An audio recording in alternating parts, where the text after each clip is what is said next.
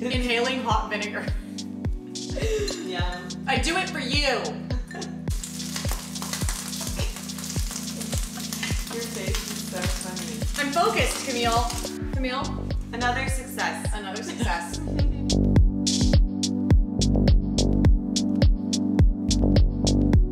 Welcome back, everybody. We are super excited for this video today. It is something that we order and love when we can find it gluten free somewhere at a sushi restaurant. Yes, I have ordered it at way too expensive of a price for what it is and the amount that I'm given. So we're super excited to show you how to make spicy tuna crispy rice today. Yay! More excited to eat it, Yes. probably. Um, but we want to get one step out of the way right off the bat to get it cooling, which is the rice. So we're going to start making a little bit of seasoned rice and we're gonna stick that in the fridge right away and then we'll move on to everything else. Naomi already cooked the rice, if that's not obvious. Um, and it's Calrose. Yeah, short short grain white rice. Calrose works great. Other sushi rice works perfect as well. And if you don't have any of that, just white rice will be totally fine for this. And what do you season? I'm Season going to season it with rice vinegar, sugar, and salt.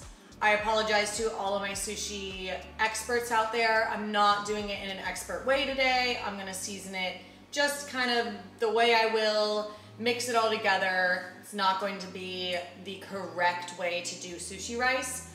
Home However, style. we're just gonna make it work and it's gonna taste good. Yes. Cool. So let's get some of this stuff out of the way and then we'll mix the rice together. Okay. So we made our rice in the rice cooker. And I cooked one cup of raw rice. I'm gonna do, I think I'll make a ratio and see how much I wanna use once um, I start pouring it in. I'm gonna do a quarter cup of rice vinegar.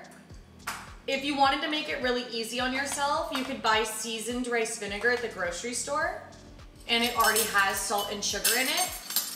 When I was in college, I used to make avocado cucumber rolls a lot for lunch and just use seasoned rice vinegar, threw it on my rice, and it was perfect. Tastes good.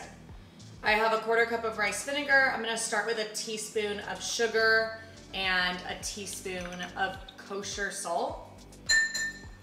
So I'm actually gonna pop it in the microwave for like 45 seconds to maybe 30 seconds to try to heat it up so that it does dissolve a lot easier.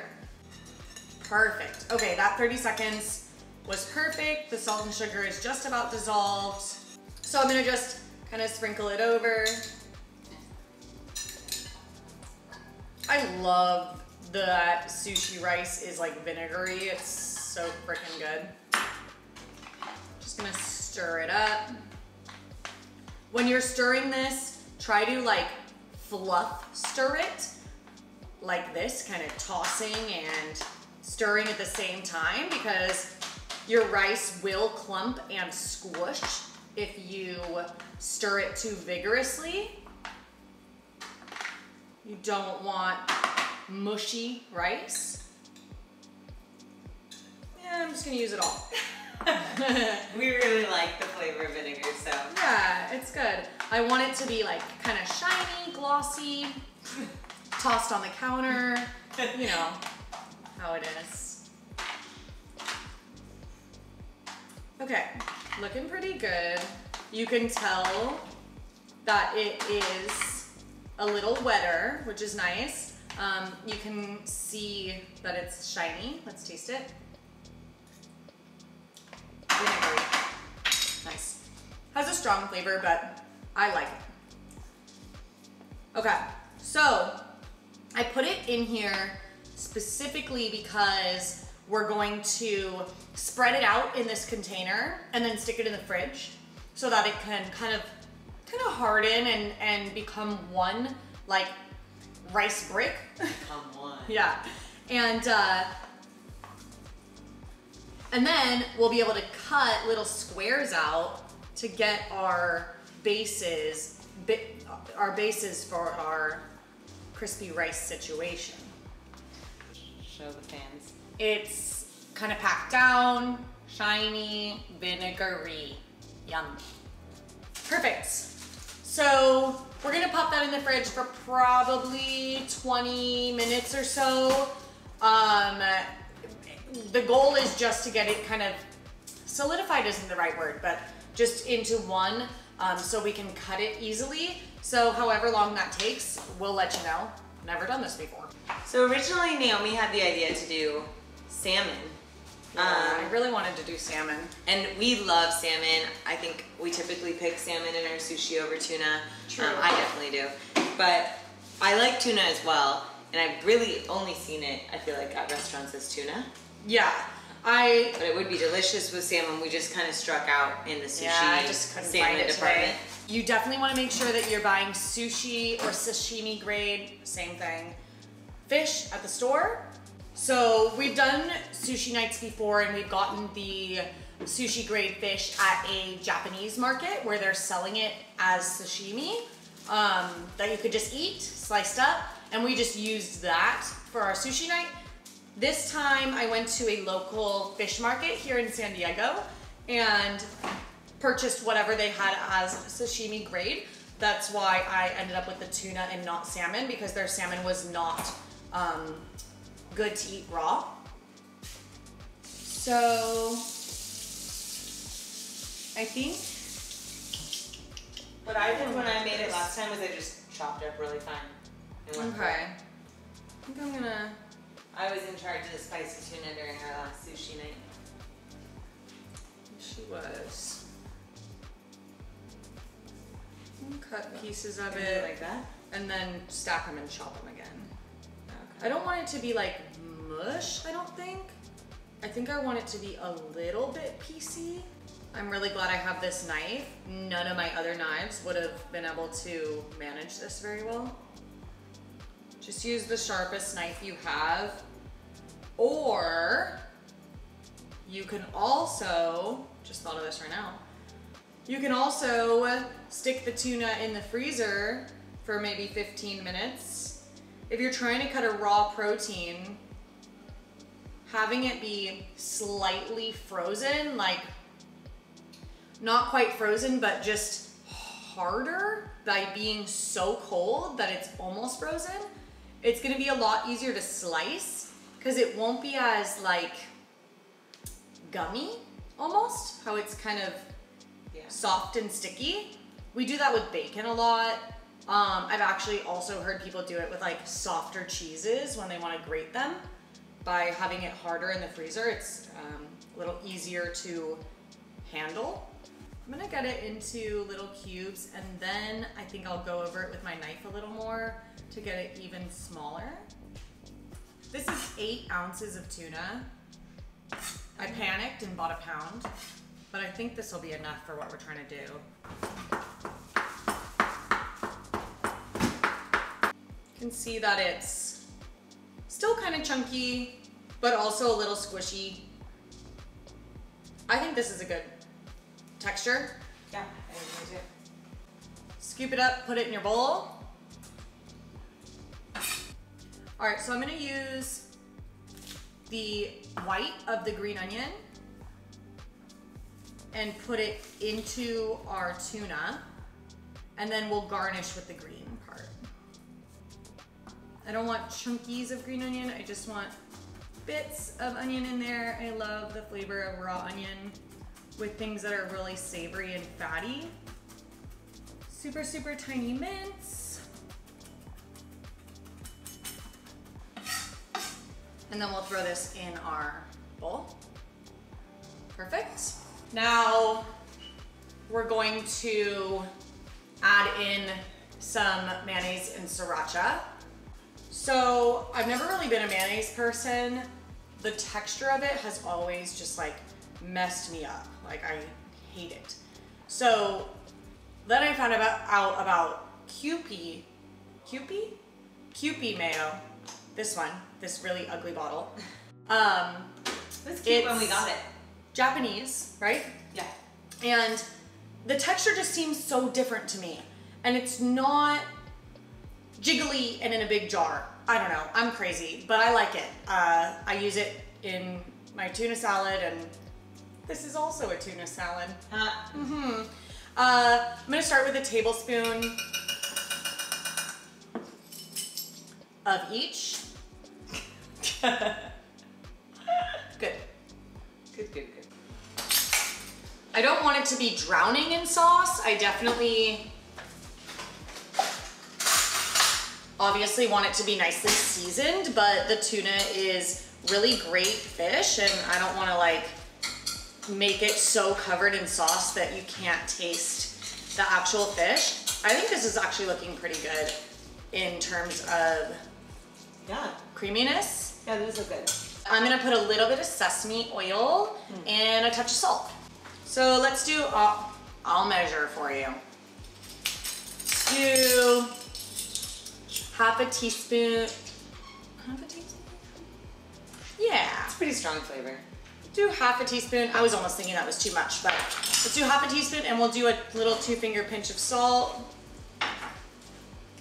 Like that. If you're not like a crazy spicy person, you could probably do like a tablespoon and a half of of uh, mayonnaise and like half a tablespoon Yeah. of sriracha, however you want. Um, but you know us. We love the spice. I got a big piece. It's really good. Mmm. Oh, that's good. I love it. I love the sesame oil. Ooh, the it's onion. spicy. Hits you in the back of the throat. Yeah. It's perfect for us, but I Mm. do think you could just go less on this Yeah. If you're If you sensitive to spice, because it's go, a little little spicy. go light, but I love it. Uh, in the Wow. fridge. that sesame oil is good. I think that was the perfect amount. I don't think I need three serranos, but I we are going to use the serrano to garnish it. Probably only need one. I want really thin little circles of serrano. I'm slicing slightly at an angle because that's who I am as a person. Uh, just slice it in really small little circles. If you would, if you really don't like that much spice, go ahead. Don't don't include this. Uh, we're also gonna put some cilantro on top, so you can only do that if you want, or just eat it the way it is. The green will be nice for garnish. The green is a really nice garnish and I just really like the fresh, raw chili bite. So, got lots of little chili rounds. We got our uh, green onion garnish over here. And now let's prep a little bit of cilantro leaf and then we'll make our I was thinking about like chopping up cilantro and sprinkling it over the top. However, I think it will look really pretty to lay a cilantro leaf over it underneath the chili. So I'm just individually picking them off. And then we're also going to make a sweet kind of teriyaki sauce to garnish it with as well.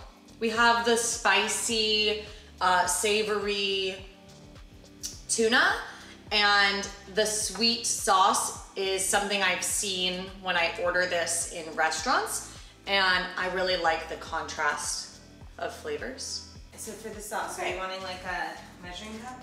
Yeah, so we're gonna make. I wrote down what I wanted to do, so I have that here. We're gonna actually do it on the stove. We're gonna do half cup water, an eighth cup of soy, three teaspoons of brown sugar. And then are we gonna add cornstarch? Yeah, we are. So we're gonna what makes it heat all this. Yeah, and thick. Yeah. So we're gonna heat all this together and then we'll finish it with um, a little cornstarch slurry, which is just water and cornstarch. Whenever you're adding cornstarch to thicken something, you wanna make a slurry because cornstarch is really clumpy and it'll just clump up in whatever liquid you put it in. So by mixing it with some water before you add it to another liquid um, sauce will ensure that it is like dissolved and incorporated evenly. Do you want honey in it? Yeah, let's do half a uh, tablespoon of honey. Half a tablespoon? Yeah, just like eyeball it, whatever. It's probably good, yeah. And then we're gonna put, let's uh, turn the little heat on little heat. here. And then add in this ginger. It's about a teaspoon of fresh ginger. And then I'm gonna use granulated garlic. Just a little dash of that, probably like a eh, eighth of a teaspoon. So we're gonna bring it to a simmer now, which you can hear it, it is. And then I'm gonna turn down the heat and stir as I'm adding this in.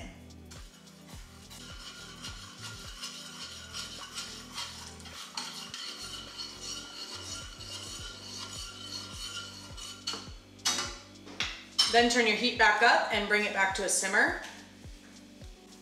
Oh, perfect. It's coming to a simmer. Oh, you can even see as it Here. simmers, the way that it simmers, obviously it's thick. Do you see like the surface? You can see like the slow bubble looks like a caramel. Yeah, a little thicker. Nice. I don't want it to be super thick. I actually think this is perfect because as something cools, it will still thicken. Perfect.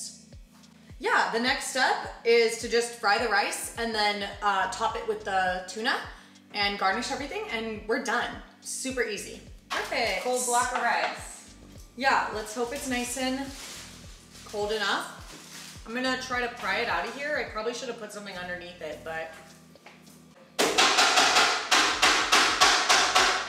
So, uh, dumb move. We should have put like a little parchment hammock or something underneath it. But this is fine. It worked. We got it out. This is canola oil. Yeah, we're using gonna, gonna use canola oil. How much? Medium? Medium high? Let's go, yeah, medium for now. Let it heat up and then we might bump it up a little. My knife is a little wet.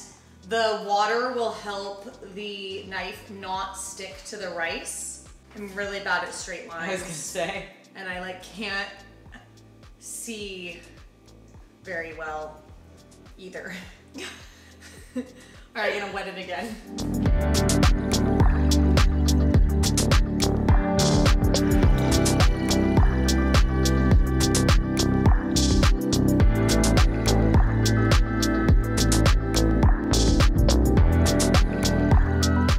So if they fall apart like this guy did a little bit, we'll just squish it back together. Okay, so I put a little piece of rice in there to test the heat of the pan. I now think all this liquid on this rice is gonna make it a really spattery situation. Let's just be really careful. With the lid. You don't want to steam it. No steam. Just be careful with the oil spatters on yourself. Here we go.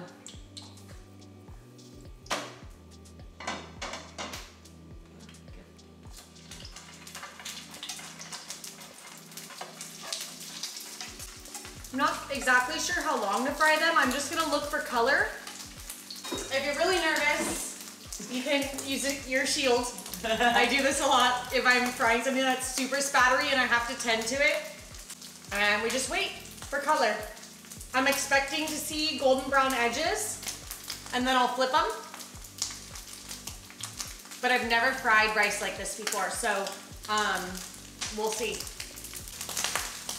We are Your look of concern by the by the oil is so. It's a little hot. I'm pretty used to popping oil. It doesn't faze me that much, but I'm concerned for you all. Obviously, I've said I've never done this before, so I didn't know how much it was gonna pop. And I'm nervous that if you try it, you'll burn yourself. We're gonna turn over the ones that are browning. We're gonna brown both sides. So you want them to be nice and golden brown and crispy like those are, but not too, too, too brown where uh, the whole thing like crisps up. You want it to be crispy and chewy, you know? We're draining them on a towel. We ran out of paper towels in the house. So we are using just a dishcloth right now to set them on so that the oil doesn't pool under them And make it all soggy. and make them greasy. soggy. Yeah. What you want to shield? No, I just was trying to shield you with my arm. Oh wow, that is love. Heroic, actually. I don't know, maybe maybe we turn the heat down a little and then it's less violent and it goes slower. Who knows? Not, not I. Not I. I'm gonna finish frying everything up.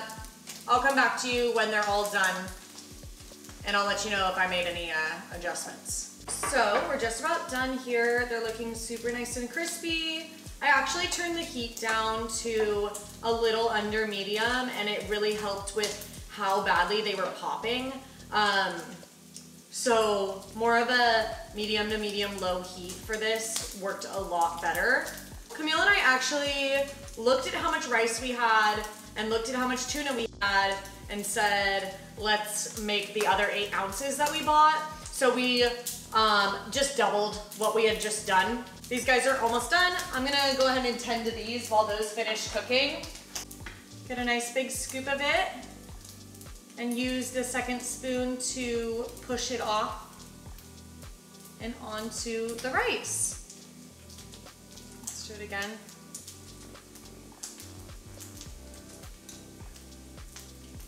You want a pretty generous portion. Some of my little rice squares are a little smaller than others, so I'm gonna use a little less on those because it, I want it to be proportional to the rice. It smells so good. And then you're thinking a little cilantro leaf on top? Yeah, so we'll do one cilantro leaf on the top of all of them and one ring of serrano. Oh, they look so pretty. This is just garnish. I love this plate. It looks so um, nice to have it be like kind of rectangular and everything is square and aligned. And then I'm gonna take this uh, little teriyaki sauce that we made and I'm gonna drizzle a little over the um, top of it. And then I'll serve a little on the side if people want um, a, a little more of the sweet sauce.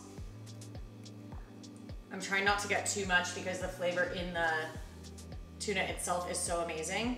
So we have it all plated up pretty for our roomies, but Camille and I obviously want to try it.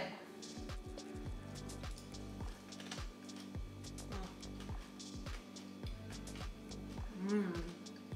That's pretty damn, dang. Perfect. Mmm.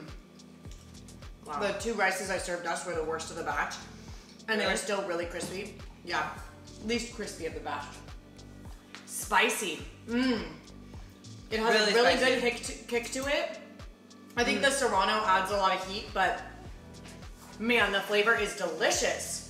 That fish tastes really fresh. Um, I mean, all of it. It ties really well. It, it's like spicy, and then you have the fried kind of crunchy rice. Mm-hmm. You still get the fresh bite on the top. Mm-hmm. I love it, and it's beautiful. Like A little sweet. Yeah, I like the sweet um, Mm-hmm. contrast with that sauce, definitely. Wow, it's really pretty. I mean, if you serve this at a party, like, look at that. I mean, How fast would that go? Come on. it's so gorgeous. The rice does take a minute, but you could Sorry, make it ahead of time. Trying to get rice out of my teeth. You could you could make the rice ahead of time and stick it in the oven to stay warm, or you know, set it on the side. It'll stay crispy. Yeah, that's probably smart. Um, but I mean, home run. Like, Success. Still chewy in the middle. Amazing. outside. Yeah, I absolutely love it. I Wow. think hopefully we can get one of our roommates down here to try it. Do you want to um, to try one on camera? It's really good. okay, bye. Yay, Jess! Yay. Wow. Isn't that pretty? They look beautiful. I'm gonna give you this one. They're pretty spicy, but I think in a It good is way. pretty spicy, but okay. I'm a little baby when it comes to spice, so here we go. She's not that bad. Mm, crunch. Good, right? Mm-hmm. I know. It's like if this got served at a party, how fast would that plate go? Oh my god, really? Mm-mm-mm. Mm, what do you think? Too spicy? No, no. I think it's um the like it's the same amount of spice that we would get if we got crispy Okay. rice tuna at sushi. Okay. But So good. Very crunchy. You like the cilantro? Mm-hmm. I'm thinking like maybe something like a not sweet, but like a tiny bit more sweet on it. We So- have a sauce for the side. Mhm. That's what we put on it. I'm gonna try another one. We'll put a little extra sweet Sure. on it. yeah, I think it balances out more. You like more We more put sauce? some on it, but Naomi was concerned about putting too much because the Mm. tuna tastes good and she didn't want it to be like too overpowered. But yeah. That tastes good. you can wipe it in that if you want. More Yay. Sauce on that bite, that too. Yum. All right. Yeah, I'm glad you like it. Thanks Thank for stopping you. by. Thanks for stopping by. Well, Camille, Another success. another success. It's crazy that we didn't make these sooner, honestly. Um, now, next time we have a sushi night, I definitely think we'll make these for people. Yeah. It's impressive and not too crazy difficult. Not too difficult. The rice took a little time, but I love them. And I think we can do them with salmon next time. Yes, hopefully. Would be really, really tasty. And they're so impressive looking. I just love how beautiful they are. The contrast of the green with the tuna and the sauce and everything together is just so nice. I think I said before, I love little, like, especially hors d'oeuvres at parties that are like bite sized, little snacks that are quick, like our little cups we did. Definitely. block. Yeah. And this is like a perfect Japanese one. Yeah, yeah, it It's a really different is. taste. It really is. Uh, well, I love it. Let's take the tray around and go feed our roommates, and we'll see you all next week. See you next week. Bye. Bye everybody.